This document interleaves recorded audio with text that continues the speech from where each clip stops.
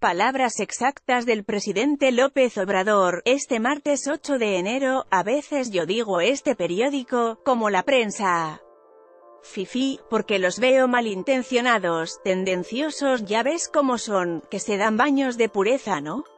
Y son unos reverendos hipócritas. Ahí sí, pero acá no, acá fue que se manejó una información, eso suele pasar, que llega información a las mesas de redacción por distintas causas. Yo estoy seguro que el director de El Universal no sabe de esto. Lo que vamos a hacer y eso fue lo que instruí, es que se le informe, la reacción es por la nota de primera plana de ese periódico el día anterior, PF detecta corrupción por 17 mm de PNNAIM, que habla de que los resultados de esa investigación fueron entregados al órgano interno de control del Grupo Aeroportuario de la Ciudad de México, a la Secretaría de la Función Pública y la Procuraduría General de la República.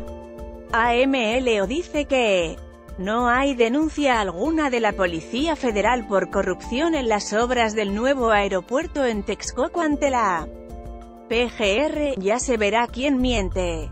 Por ahora, el gran problema es que el hombre más poderoso del país, encargado de gobernarlo y mantenerlo lo más unido posible, continúe expresándose de la prensa como lo hace, pero es que todos nos equivocamos, todos, y lo que tenemos que aceptar es el derecho a la réplica y también rectificar, no caer en la autocomplacencia que ese es otro asunto que tiene la prensa fifi, que no rectifica y se regodea de la autocomplacencia, o sea son jueces no sentencian, emiten veredictos, juicios sumarios y no son capaces de rectificar. Imagínense lo que hicieron últimamente, que en los días que llevábamos en un mes, había crecido, se había incrementado el crimen en 60% no se midieron, o sea, de acuerdo con el punto de vista del presidente de México, el Universal solo se equivocó y el Reforma es prensa fifi. Eso no es sentenciar, emitir veredictos y juicios sumarios. Su alusión es a la nota principal de ese diario el primer día hábil del año, crecen ejecuciones con AML en 65%, al Día siguiente, el gran Tlatoani espetó. Ayer se dio a conocer una información sensacionalista, no apegada según nuestro punto de vista y según nuestros datos, a la realidad. Se habló de manera ligera de que había un incremento de 65% en delitos violentos, algo muy interesante en su reacción es que también dijo que el tema no se había abordado oficialmente, porque estábamos afinando el sistema de información, no encontramos un sistema de información que nos indicara lo que sucede diariamente en toda la República, lo fuimos haciendo, todavía incluso está en proceso de perfeccionamiento pero ya se acerca más a lo que sucede, pero las circunstancias nos obligaron a ya dar a conocer esta información, es decir que sí. Bien el ejecutómetro del periódico Reforma no es riguroso en cuanto a su metodología, ¿el gobierno tampoco tenía cifras confiables? Eso puede entenderse dado que la administración actual no confía en los datos y herramientas que dejaron las anteriores pero también muestra lo que ya decíamos en la columna anterior, una conferencia de prensa diaria y comunicar no son la Misma cosa. Lo que evidencia la reacción de AMLO es que no está liderando adecuadamente la narrativa de su propio gobierno sino, justamente, reaccionando tanto, que tiene que recurrir a la descalificación como parte de su argumento. Por otra parte, es cierto que el ejercicio periodístico también está más contaminado de lo usual. Además de la falta de rigor que predomina en muchos medios que prefieren la inmediatez sacrificando la calidad y periodistas de lugar común que no estudian ni investigan. Pero bien que hacen refritos y aventuran basados en sus fascinaciones, hay que aceptar como ejercicio de autocrítica gremial que también hay quienes se han convertido en AMLovers y AMLOaters declarados a ultranza, lo que nubla su capacidad real de Análisis, ¿debería el presidente de México quedarse callado cuando no le gusta una afirmación o considera que una nota periodística sobre el desempeño de su gobierno es imprecisa o falta a la verdad?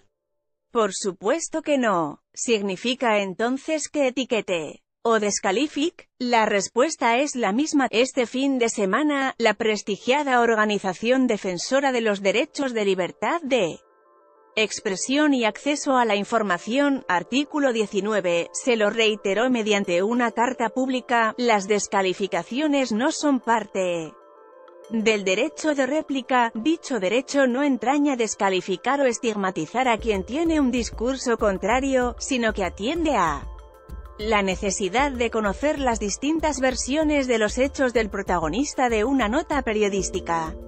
La réplica no debe restringir o inhibir la libertad de expresión, sino complementar y permitir a la ciudadanía hacerse de una idea propia partir de diversas visiones cuál es el antídoto para detener las confrontaciones entre el gobierno y la prensa y las fake news involuntarias o malintencionadas. Simple, información. Dame chance de insistir, una de las tareas básicas de un gobierno es comunicar. Algo que le urge al mandamás de nuestro poder ejecutivo es una estrategia de comunicación integral y bien estructurada que elimine todas las torpezas, no es un asunto menor ni poco importante. Si la llamada cuarta transformación implica verdaderos cambios de fondo, va a haber necesariamente muchos escándalos, callos pisados, intereses lastimados, gritos y sombrerazos. Ahora mismo, la administración López Obradorista tiene varios frentes abiertos y, de no poner el cuidado correcto, puede enfrentar muchos más problemas de los inevitables, por lo menos ocho estados están padeciendo desabasto de combustibles por la lucha que está dando el López Obradorismo al llamado huachicoleo. La información que nos ha dado hasta ahora es que esa mafia se operaba desde un piso de la propia torre. De Pemex que el sindicato controlaba operaciones estratégicas que se cerró la llave del ducto Salamanca-León para quitarle las tomas. Clandestinas, el ejército mexicano está ahora a cargo de vigilar las instalaciones y la distribución se da momentáneamente con pipas que son insuficientes. La Secretaría de Hacienda dijo en un comunicado que presentó una denuncia contra una persona, sin revelar su nombre, que lavaba el dinero ilícito del huachicoleo, concediendo el voto ciudadano de confianza. El pueblo aguanta pero pasada la crisis habrá muchas preguntas. ¿Cuántos funcionarios y trabajadores de Pemex descubiertos con las manos en el huachicol irán a dar? ¿A la cárcel? ¿Dónde está el dirigente sindical, el ex senador priista Carlos Romero de Champs, y cuál es su situación? Después de todo, si bien López Obrador dijo que no perseguiría casos de corrupción de administraciones pasadas, también se comprometió a castigar a quienes la cometieran en la suya, tras la cancelación de todos los seguros de gastos médicos mayores de él. Gobierno, la aseguradora MetLife y bastantes hospitales privados se quedaron sin miles y miles de clientes, lo que no es nada bueno para sus finanzas y empleos. Por otra parte, ahora el ISSST tiene de la noche a la mañana Dos millones más de derechohabientes ¿Cómo van a acomodarlos en clínicas y demás servicios de por sí insuficientes y deficientes? La idea es que esa situación se corrija. Para empezar, este año la institución recibirá 323.633 millones de pesos. O sea, 40.690 millones más que el año pasado. Suena bien no, nada más que de todo ese dinero, 226.143 millones serán para atender obligaciones de pensiones y jubilaciones, es decir, el 70% de todo su presupuesto, lee también, pensiones absorben el 50% del presupuesto del IMSS y los costos y sacrificios de la austeridad. Republicana. El propio AMLO dijo en Michoacán que el sistema de salud está todavía peor que el educativo y así tiene que atender a muchos más derechohabientes, los despidos en el gobierno ya suman algo más de 12.800.